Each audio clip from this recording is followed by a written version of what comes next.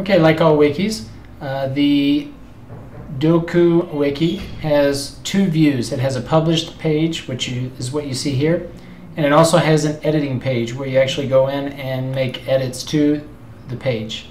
So if you click edit this page, you'll see a list of text or a box with uh, different text along with the toolbar.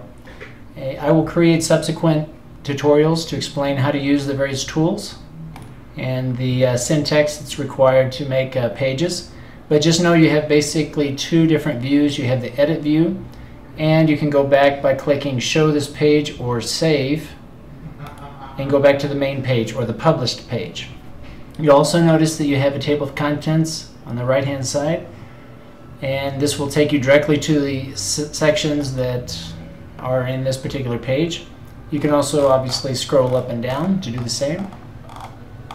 And at the bottom we have a discussion tab, so if you'd like to make comments or suggestions about how to improve the content here, you can uh, click Edit and uh, include your comments here and click Save.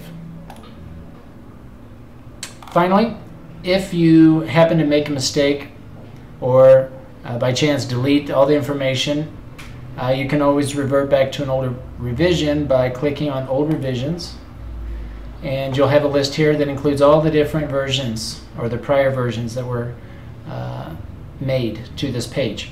So if you click on any one of these links, you'll see what the version was at any particular time and uh, if you do want to revert back to a prior revision, you simply click Restore. So those are the basics on uh, when you work in a wiki, specifically this wiki that we'll be using uh, for this particular class, Applied Linguistics.